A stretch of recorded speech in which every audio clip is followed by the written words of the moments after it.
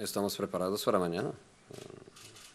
Sin ser necesario motivar mucho a la gente, porque la motivación natural de jugar Champions existe siempre.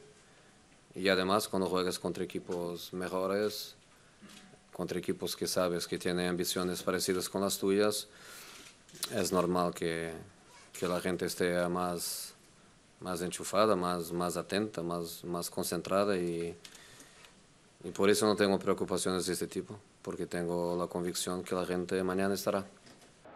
Estarán al 100% y contando con la confianza de su míster, José Mourinho quiso en su rueda de prensa en Dortmund subrayar la que también tiene en Iker Casillas. Nosotros tenemos confianza en el portero.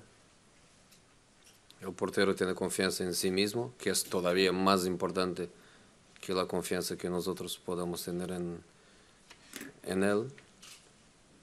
Y cuando él tiene autoconfianza y cuando sabe que los otros que trabajan con él tienen confianza en él, pues mm, no me parece que sea un, un niño joven para se dejar afectar o preocupar con algún tipo de, de situación. Por eso ningún, ningún problema. También Mourinho explicó su apuesta por Essien en el lateral izquierdo el pasado sábado. Eso sí, no desveló quién lo ocupará en el Westfalen Stadium.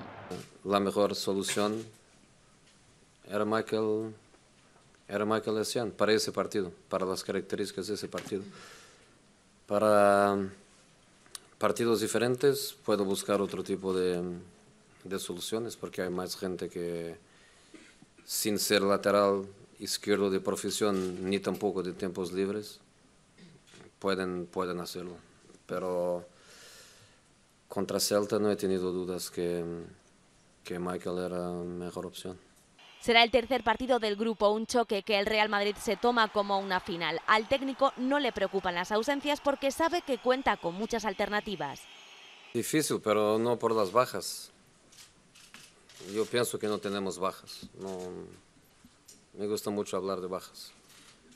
Tenemos equipo para jugar, tenemos jugadores para jugar. Y difícil porque el adversario es, es difícil. Uh, pero el grupo es difícil, cada partido es difícil. No es el grupo que tú estás calificado después de, de tres partidos. No es el grupo donde puedes hacer el tipo de récord que has hecho temporada pasada de ganar 18 puntos en 18.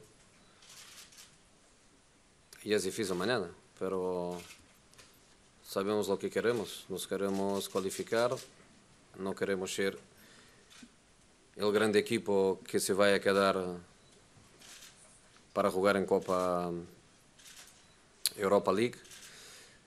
Y sabemos lo que queremos, queremos, queremos continuar a jugar en Champions.